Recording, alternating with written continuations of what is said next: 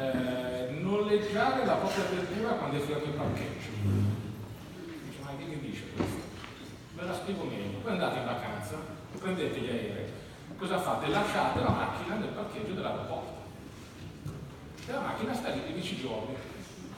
Poi tornate, la ritirate, avete pagato 100 euro e fine, avete tornato a casa.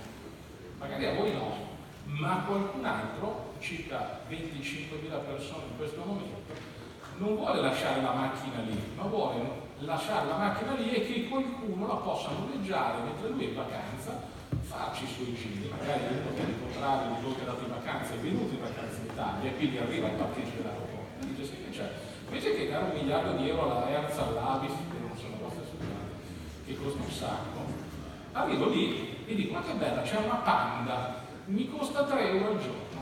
Ops, ma sì che c'è, ma va bene la panda 3 euro al giorno. Per fare questo è stata creata una piattaforma che si chiama Get My Car, che è una blockchain, quindi è una piattaforma data, ma fatta con blockchain, quindi tutto il sistema anche. Quindi perché cosa fa la piattaforma? Ti fa vedere le macchine che sono parcheggiate in tempo reale. Tu la scegli prima di arrivare, la paghi prima di arrivare, la, la blockchain ti dà un token che è una sorta di coupon digitale, che qui non vi spiego la tecnica, ma c'è. Arrivo, non devo fare altro che andare con, il mio diciamo, token, che alla fine è un codice alfanumerico, tipo come si fa di una macchina a noleggio, sblocco la macchina e esco con la macchina e ho già pagato. Quindi il signore che ha lasciato la macchina parcheggiata torna e eh, ha dei soldi, magari non solo si è ripagato il parcheggio, ma è dato di tu. Chi ha preso una macchina e deve spendere 100 euro al giorno, ha speso 3, e così detto comunque perché la banda ne dà benissimo, la blockchain permette di fare questo